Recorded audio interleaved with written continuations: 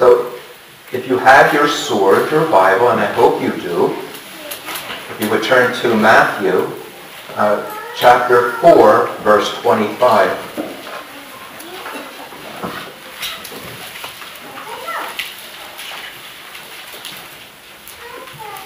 Matthew chapter 4, verse 25. And all of us, or hopefully all of us, not that maybe most of us know that we have what we call four Gospels in our Bibles, Matthew, Mark, Luke, and John.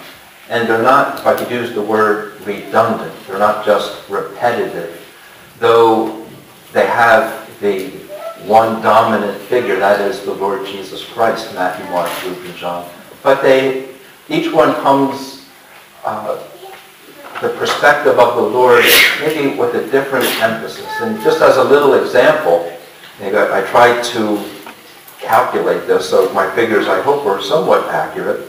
But to give you a little example, comparing Matthew with John. Uh, in John, the word believe is 86 verses, which would be natural because John says the purpose of his gospel is that we might believe that Jesus is the Christ, and that believing we might have life in his name.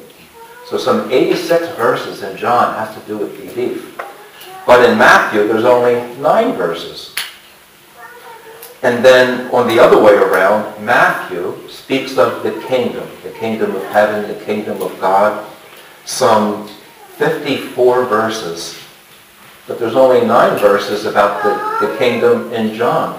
So you can just see there, there's just a different emphasis, there's a different perspective, even though it's the same topic, the same grand subject, the Lord Jesus there.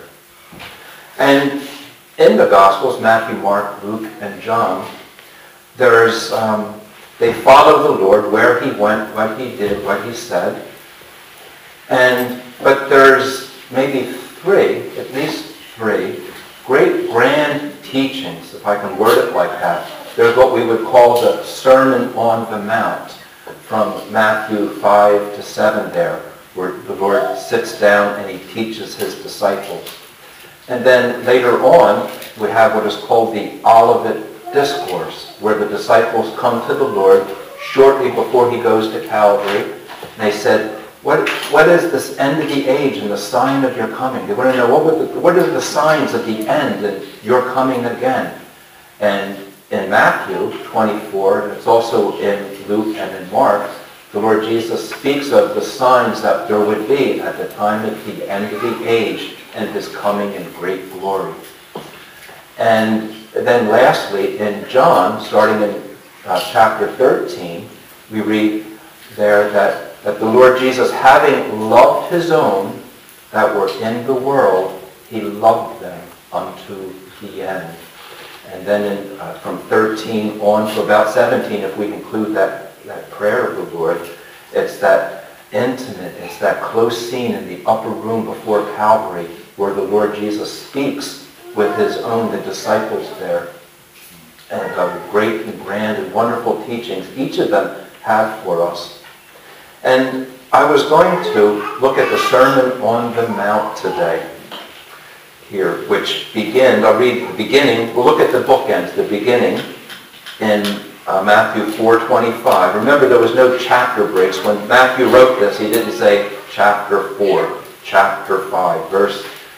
So in our chapter 4, verse 25 of what Matthew wrote, we read, And there followed him great multitudes of people from Galilee and from Decapolis and from Jerusalem and from Judea and from beyond the Jordan. And seeing the multitudes, he went up into a mountain, and when he was seated, his disciples came unto him. So we see in the beginning of what we call the Sermon on the Mount, uh, that it is to his disciples where he sits down and he speaks to them. And then at the end, in chapter 7, at the conclusion, we read in chapter 7, verses 28 down to chapter 8, verse 1, just the three verses. And it came to pass when Jesus had ended these sayings, the people were astonished at his doctrine. For he taught them as one having authority and not as the scribes. When he was come down from the mountain, great multitudes followed him. And so in concluding there, the thing that stood out, you know, I guess with, um, at the conclusion of those grand teachings and sayings of the Lord, was that he spoke with authority. And I think we're able to miss that. Remember, a long time ago, I was reading a, a uh, Jewish rabbi who did not believe that Jesus was the Messiah. But after having read what we call the Sermon on the Mount, this rabbi said, who do you think you are? God? And we can understand why he would think that and why we believe that. In, in uh, chapter 5, a multitude of times, if you look at chapter 5, verse 22, in each of these times, the Lord will precede the saying by, you have heard that it was said of them by them of old. But in verse 22, but I say unto you. And then in verse 28, but I say unto you. In verse 32, but I say unto you. In verse 34, but I say unto you. In verse 39, but I say unto you. With authority, and it just sent the people back when they heard that. He wasn't just re- repeating what this commentator said or what that rabbi said, or because, but what I say unto you direct there, the authority that the Lord Jesus had. I, I don't know who gave the name of these teachings the Sermon Mount. I think we kind of have a negative um, conception of that word. You want to go to church and hear a sermon, right? You know, going to go. Or if you're a child, you're a teen, and you did something, and mom or dad's going to give you a sermon, right? Or, you know, it just means as we take it, it's something negative. You've done something wrong and someone's going to try and set you straight. As far as I know, the word sermon isn't in our Bible. I, have to double check that. I don't believe it's in the, what we call the Sermon on the Mount. But it says that he taught them, that he sat down, he opened his mouth, and taught them. That's much more comfortable, isn't it? To me it is, that I'm going to get a sermon. And in chapter 5, verse 19,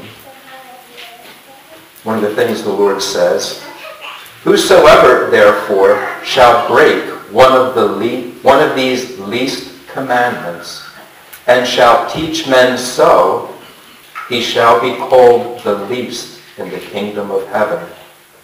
But whosoever shall do and teach them, the same shall be called great in the kingdom of heaven. So I, it seems like the Lord is addressing the Jewish audience here, his disciples. Maybe what they understood is that the rabbis, out of the 613 rules, laws that they had kind of distilled uh, the Bible into there, that there were commandments that were great, and then there were commandments that were small and little. And the Lord Jesus saying here, that every commandment, you know, is great. And those that do and teach, not just me up here teaching, but to do and teach, you know, there will be a corresponding, whether you're small or great.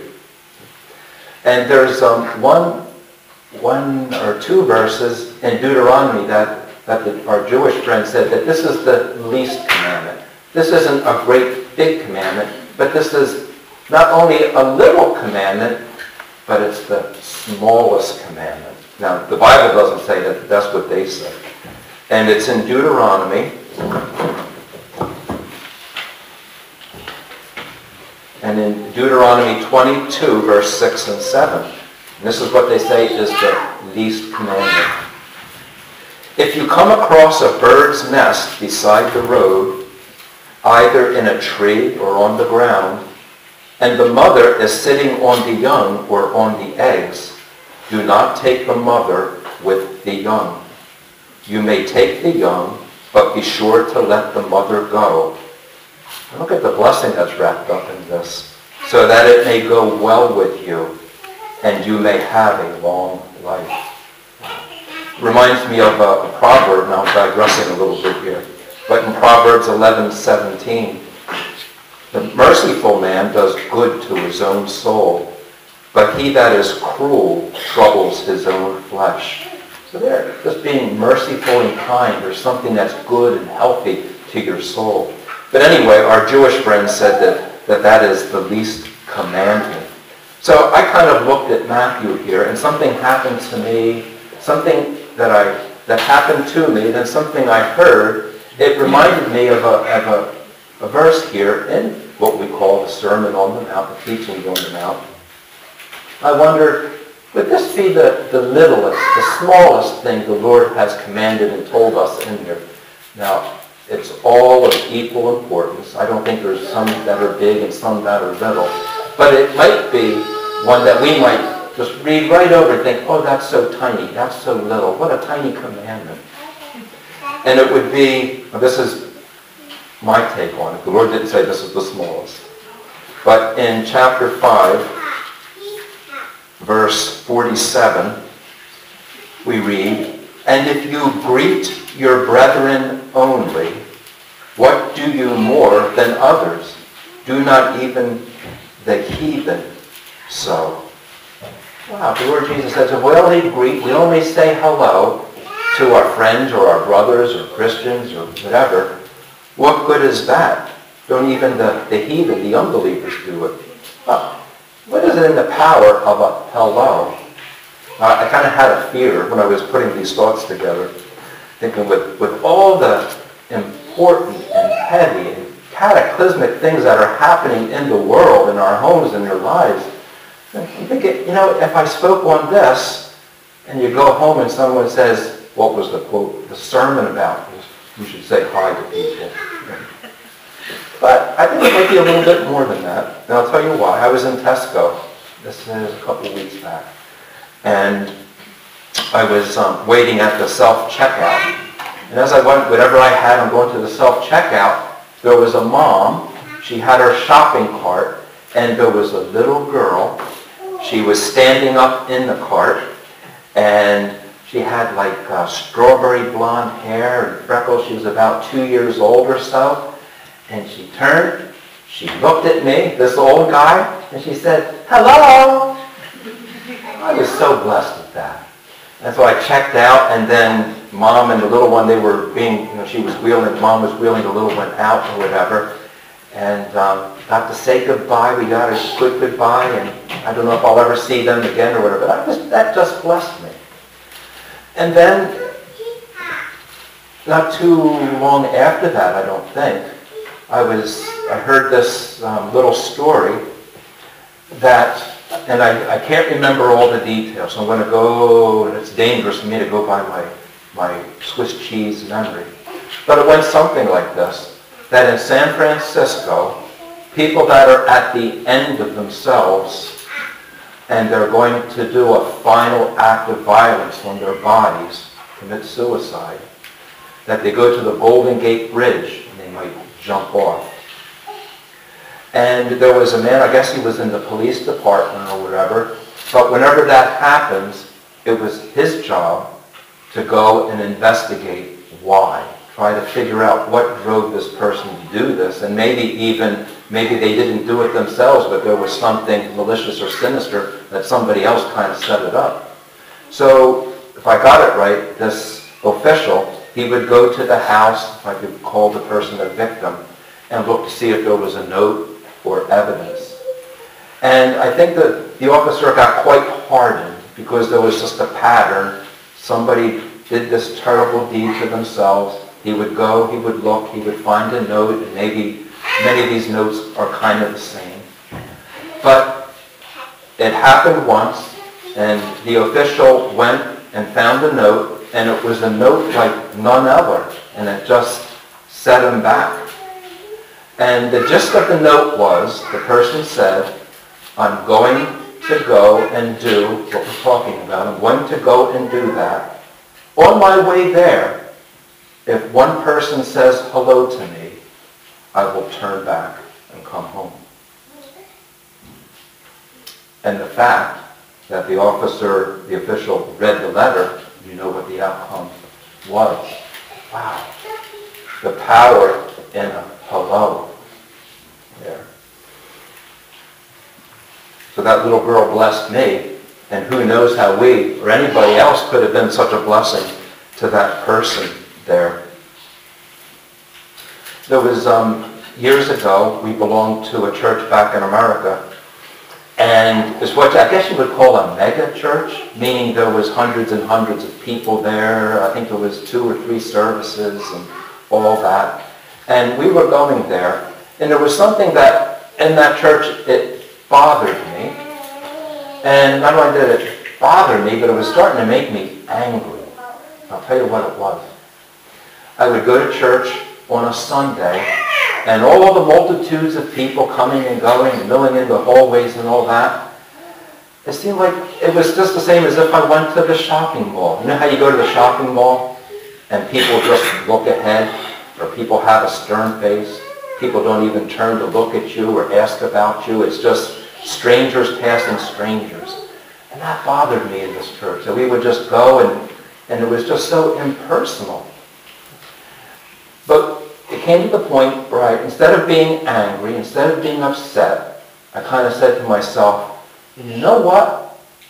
I'm going to go and do it. I'm going to go say hello. I'm going to make a difference. I'm not going to be like that. And it made all the difference when I was in this church. If I saw someone by themselves just in the hallway, whatever, how you doing?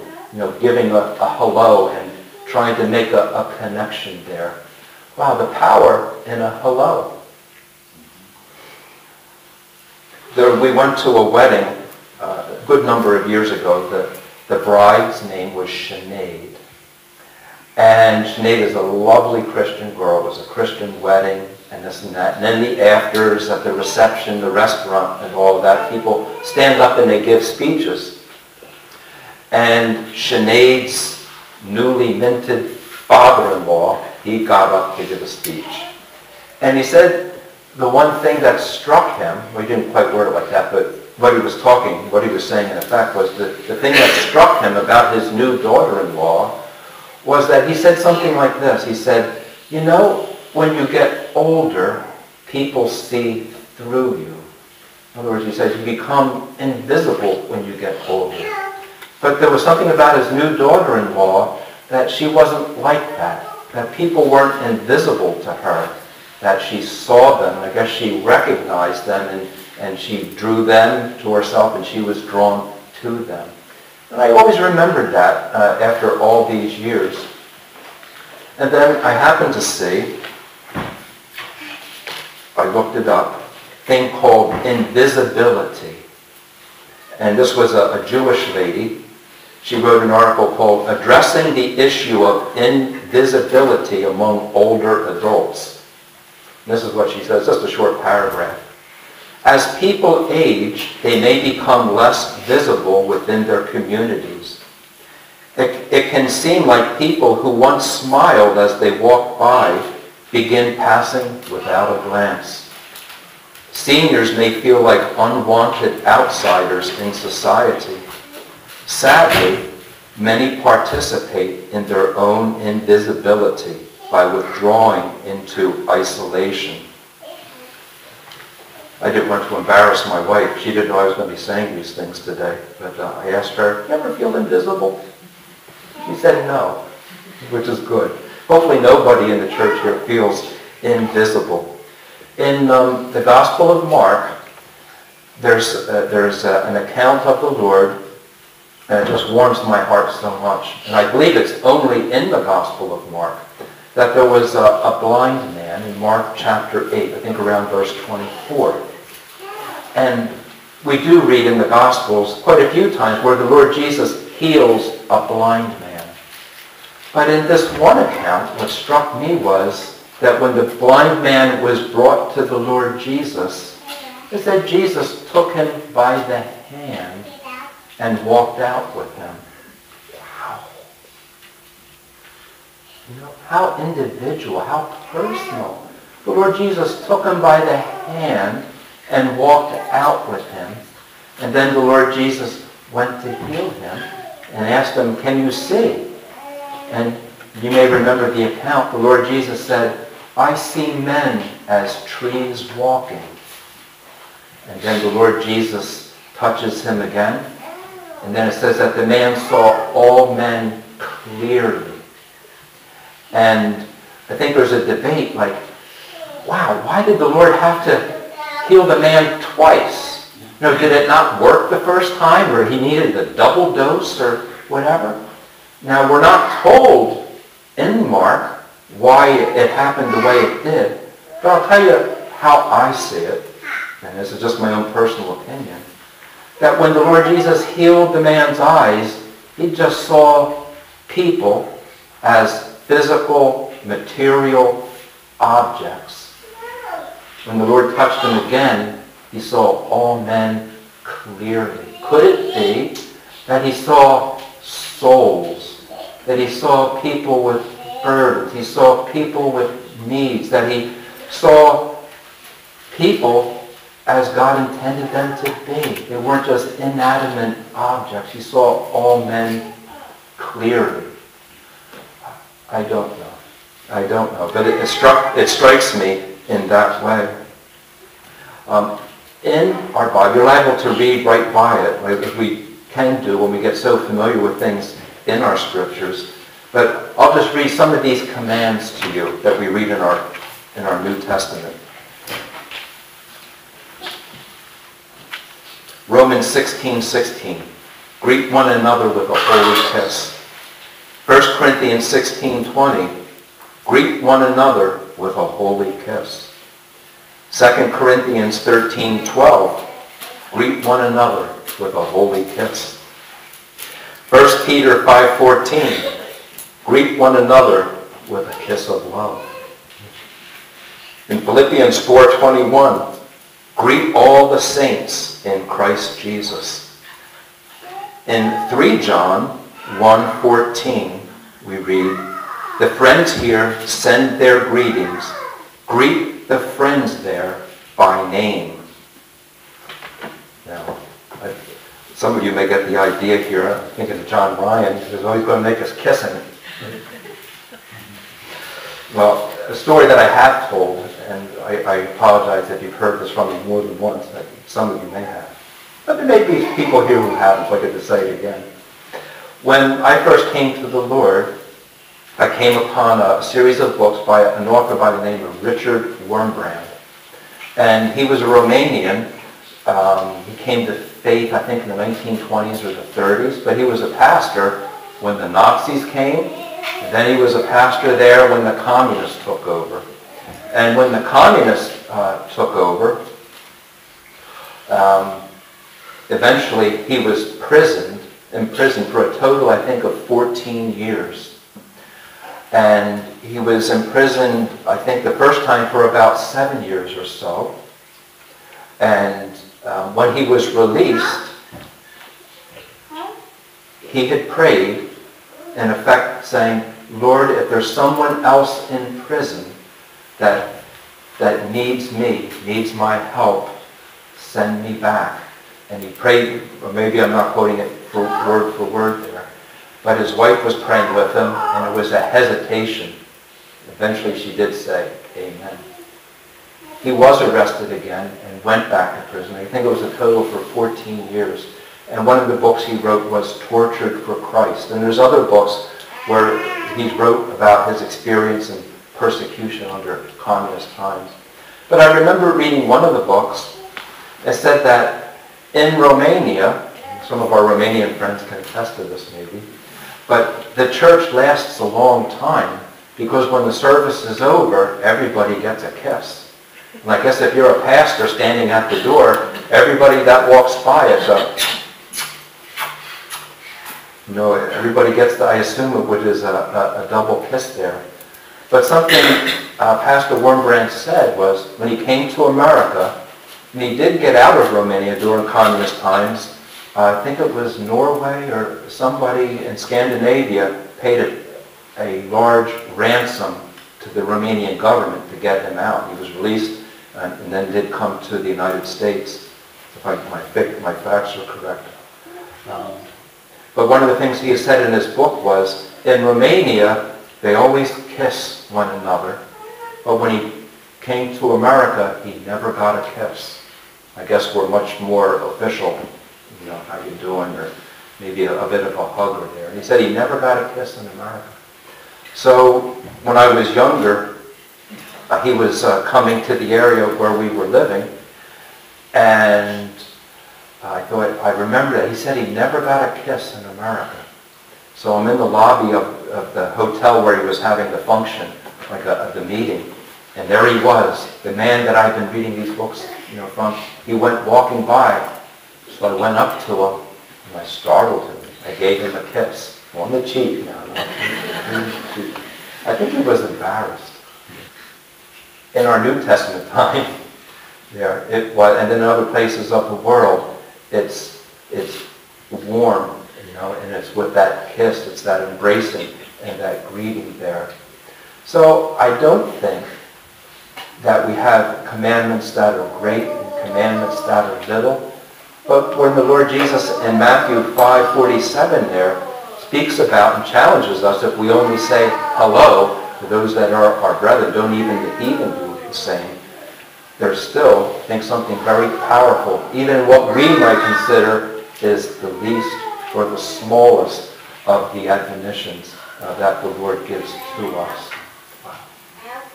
So if you're here today, and if you feel like you just treated like an inanimate object, something that's prayed so often, uh, one of the guys in the back there, that let no one come here that is broken go out the same way. And if you feel that way, that nobody cares or nobody wants to know, then you make the difference and you go and make that difference in somebody else's life. And I'll just close with this. We say that there's three great discourses in our Bible. There's what we call the Sermon on the Mount, the teaching on the Mount. There's the Olivet Discourse. And then there is uh, what we call the Upper Room Discourse. So what I would like to do is actually study what we call, I'm going to call it the teaching on the Mount. Study the teaching on the Mount for about a month. And for those that would like an in-depth study on the teachings on the Mount. It's not just coming and listening to me, but to uh, engage and learn yourself and then come together. So I was, was thinking of doing uh, the first week would just be an introduction. And then since there's three chapters, the second week, the third week, and the fourth week.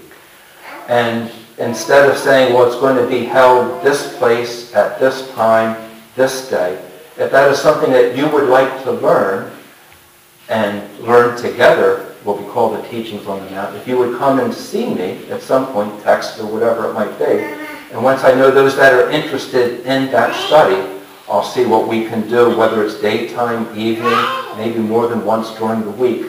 But um, you let me know. And once I see who is interested in that kind of study and in that topic, we'll see about making arrangements where we can make that a reality in the day and the time.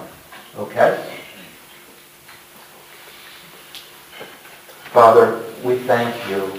Lord, how many of the letters do we read? Lord, those introductions, grace, mercy, and peace from God our Father and the Lord Jesus Christ. The greeting that we're given, Lord, in your word and in the, in the letters there to the various churches. Lord, we thank you that, that you are the God that gives grace, mercy, and peace.